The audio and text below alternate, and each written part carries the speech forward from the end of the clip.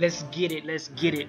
So today was incline chest annihilation, baby. All I did was straight focus on the upper part of my chest so I can get some more fullness up there, get a little bit more definition because your boy done put back on some skin since Vegas, man. I went back up like four pounds from the, you know, uh, festivities or whatnot, so I had to get it. I did two warm-up sets going right into this, and then my first set was 135. I counted that as a first set, even though that was technically three in a sense, but Next, I moved up to uh, 155, and all of this is going to be uh, on the incline bench press. That's the only actual bench press barbell that I did today was only uh, incline, but I feel pretty good. Uh, I did have to go to the uh, doctor yesterday and get an MRI on my back still because I'm still having those complications and issues, but I'm working through that. Uh, next, I moved up to, I think this is about, yep, 175 and I got all these little, um, I got the pounds uh, coming through the screen, so it kind of keep me on track or whatnot. But uh, 175, I say uh, that went up pretty good. My max before my back surgery used to be on incline was 225, so I'm trying to work back up to 225 at some point.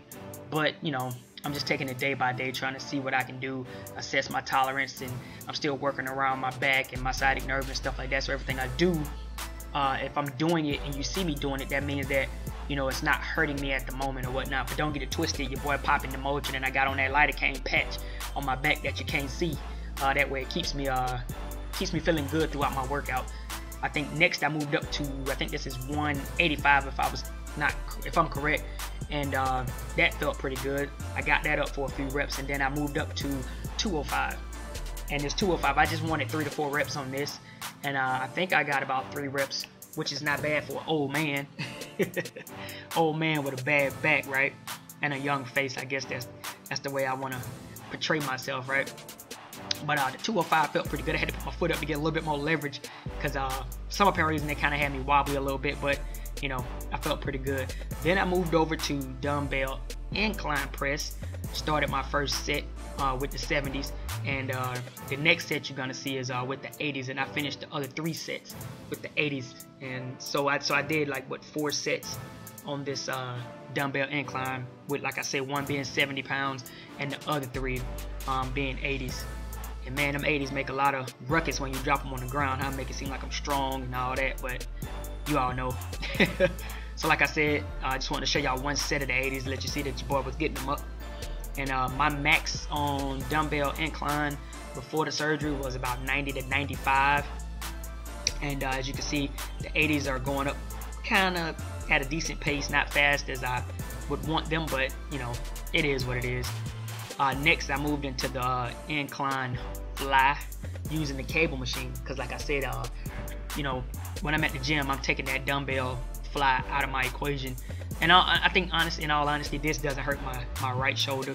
Dumbbells kind of hurt my shoulder, both of them actually, but my right one a little bit more. But, you know, this is my favorite exercise when it comes to flies. Now, then I moved into some machine press.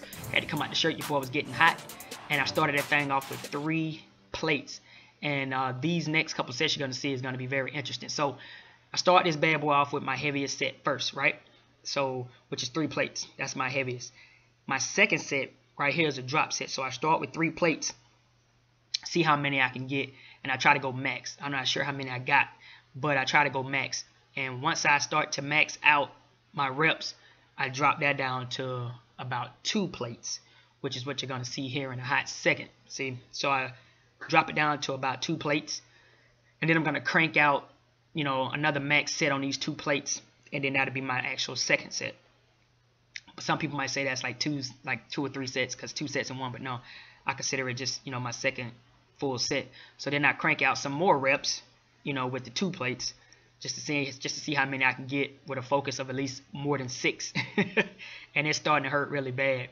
Then I move right into that third set, and that third set is a left off, is a pickup from where I left off on that second set. So now I'm starting at two plates because I want reps now. So I'm trying to get more reps, more reps, force more blood in there or whatnot. And then I'm going to do one drop right here down to a plate, and I'm just going to rep that bad boy out.